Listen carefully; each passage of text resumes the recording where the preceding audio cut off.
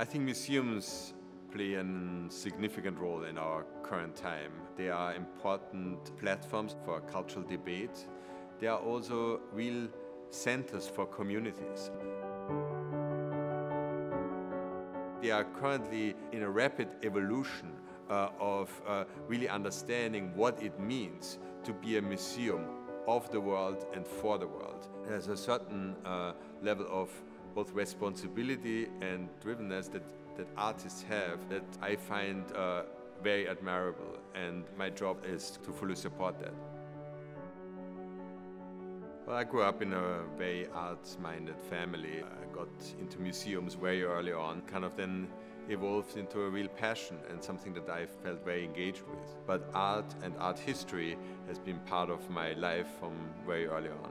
I developed also a very keen interest in running an operation. It allowed me actually then uh, in Vienna to do two studies at the same time at art history at Vienna University and business administration at WU. It was very internationally minded, very much on the forefront of uh, developing new ideas about both scholarship, academia, about how to engage uh, students.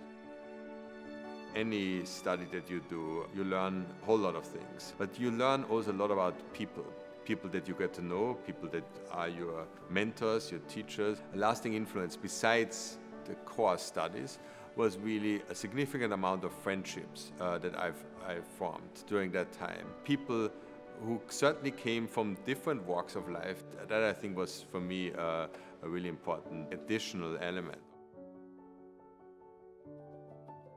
During my studies, I worked as a journalist, as a business journalist. While doing an internship here in New York during my studies, the then director of the Guggenheim Museum said to me in an elevator, the typical American way, if you ever finished with your studies, you've got a job here.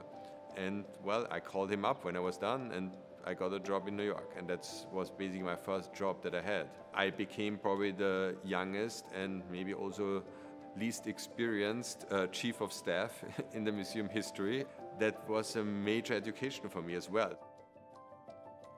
During a time where we have significant challenges, debates about how we want to live together. It's a very interesting institution to be involved in. And the Met in particular is a significant voice in our current cultural debate. And I saw uh, a type or a typology of a museum that I wanted to be involved in, where I, I, could see that I could combine, of course, my interest in arts and art history, but also in how to professionally run an institution to really uh, support the arts or support artistic thinking.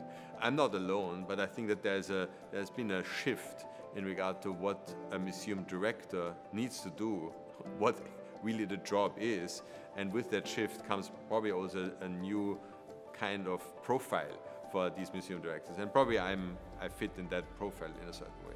Museums have been here for 200, 250 years. The Met is 150 years old. So it, you're part of an evolutionary process of an institution. As long as you can be helpful, supportive, and somewhat visionary about the next uh, steps for an institution, I think that should be your role. And I always saw whatever I do as a service to the institution.